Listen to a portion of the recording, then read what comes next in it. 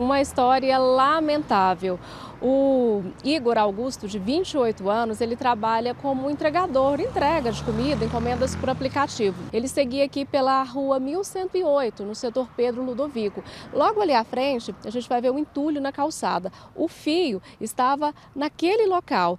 Quando ele estava passando, um outro motociclista teria dado sinal de farol que alguma coisa estava errado, mas ele não percebeu. Acabou passando o pescoço nesse fio e agora o Michael vai mostrar para a gente a distância de lá até o local onde ele foi parar. Mais ou menos 100, um pouco mais que isso, 100 metros. Ele caiu, né, já caiu, ele foi arremessado, a moto caiu para um lado e esse fio, claro, arrancou a pele do pescoço dele. Né? Felizmente, no momento momento ele conseguiu retirar esse fio. A gente pode até observar que aqui, ó, uma pessoa até colocou o restante que sobrou dele, mas é um fio bem grosso, ó, a gente observa aqui, ó, tem é um arame aqui, ó, isso daqui passa na, na, no pescoço de uma pessoa, pode matar, ele teve muita sorte. Eu vou falar agora com a Pamela, que é a esposa, que vai explicar para a gente mais detalhes.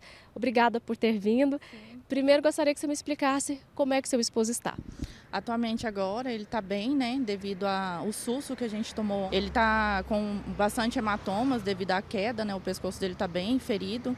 Ele relatou para mim que ele está com muita dor no corpo, sentindo muita dor de cabeça, né, devido à gravidade do acidente. E graças a Deus, bem, aparentemente, do, da situação que aconteceu. Antes nós conversávamos aqui, você me disse que ele nasceu de novo, né? O que, que ele contou para você, assim, detalhes do acidente? Ele falou assim que na hora que ele viu, né, tinha um motoqueiro vindo.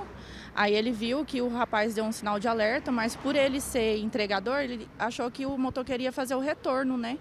E aí ele falou assim que quando ele deu por si, ele já estava em cima. Aí a única coisa que ele lembrou foi dele firmar a, o corpo, né, para não acontecer mais grave. Ele falou que sentiu o corpo dele se elevando da moto e na hora ele sentiu a mão dele acelerando. O Igor e a Pamela, eles têm três filhos, um deles de dois meses. A moto era o sustento do casal, né? Agora ele está impossibilitado de trabalhar para que as autoridades tenham noção realmente do prejuízo que esse tipo de descuido de deixar esses fios traz para uma família. Então, a informação agora é que vocês não sabem como proceder e espera que realmente isso não aconteça mais. É, sim, a gente não sabe, né, como que vai ser daqui para frente, mas Deus vai abençoar conforme for, a gente vai conseguir estar tá trazendo de novo o sustento, né, devido à gravidade.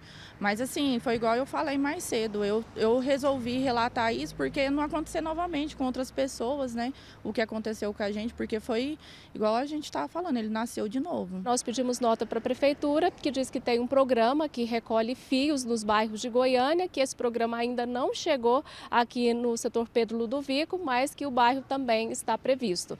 É, sobre assistência para a família, alguma coisa nesse sentido, não foi dada nenhuma resposta.